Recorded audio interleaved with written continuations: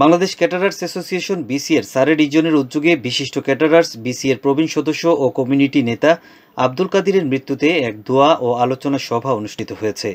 একুশ মার্চ রবিবার বিসিএর সারে রিজনের প্রেসিডেন্ট শাহ এম আলিক আজাদের সভাপতিত্বে ও সংগঠনের সেক্রেটারি সৈয়দ হাসান আহমেদ ও অর্গানাইজিং সেক্রেটারি ইয়ামিম দিদারের যৌথ পরিচালনায় ভার্চুয়াল মাধ্যম জুমে সংগঠনের নেতৃবৃন্দ সহ কমিউনিটির বিশিষ্টজনেরা অংশ নেন। প্রথম পর্বে দোয়া পরিচালনা করেন সারে মুসলিম সেন্টারের ইমাম মাওলানা মোহাম্মদ আব্দুর রব। দোয়া বিশিষ্ট ক্যাটারার্স ও বিসিএর প্রবীণ সদস্য মরহুম আব্দুল কাদিরের পরকালীন শান্তি কামনা করে দোয়া করা হয়।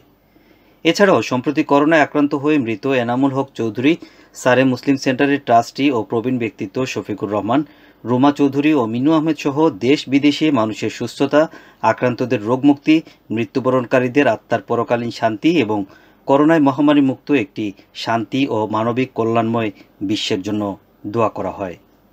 মরহুম আব্দুল কাদিরের পরিবারের পক্ষ থেকে বক্তব্য রাখেন তার ছেলে ডাক্তার মোহাম্মদ ফজলুল কাদির ও ছোট ভাই Sajjadur Rahman.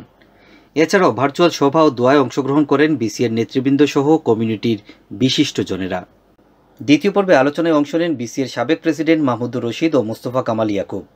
বিসিএর president M A Munim, secretary general Mithu Chowdhury, senior vice president যথাক্রমে জামাল উদ্দিন মকদ্দস, অলি খান এমবি ও মুজাহিদ আলী চৌধুরী, ভাইস প্রেসিডেন্ট আব্দুল খালিক চৌধুরী।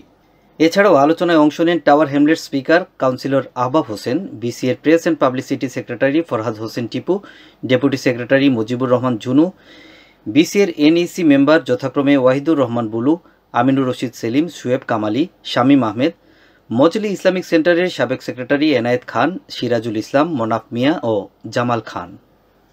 বক্তারা বলেন, বিশিষ্ট ক্যাটারার্স মরহুম আব্দুল কাদির বিসিএর একজন নিবেদিত প্রাণ সদস্য ছিলেন। একজন সফল ক্যাটারার্স হিসেবে তিনি কমিউনিটিতে অনেক সেবামূলক কাজ করেছেন। বিসিএ তার পরকালীন শান্তি ও শোক সন্তপ্ত পরিবারের প্রতি গভীর সমবেদনা প্রকাশ করছে। আলোচনায় বক্তারা বিসিএর সকল নেতৃবৃন্দ সহ প্রতিষ্ঠানের সকলের করোনা ভ্যাকসিন নেয়ার প্রতি গুরুত্ব আরোপ করে বলেন, কমিউনিটির সকল স্তরে কোভিড নাইন্টিনের স্বাস্থ্যবিধি মেনে চলা এবং করোনা ভ্যাকসিন প্রয়োগ নিশ্চিত করা জরুরি। লন্ডন থেকে প্রচারিত কোটি প্রবাসীর কণ্ঠস্বর, বায়ান্ন বাংলা। বায়ান্নের রক্তস্নাত প্রতিশ্রুতি, আমাদের স্পন্দন। মহান মুক্তিযুদ্ধ, আমাদের চেতনার উৎস। বায়ান্ন বাংলা টিভি। বাংলা সংযোগ দেশে দেশে কানেক্টিং বাংলা গ্লোবালি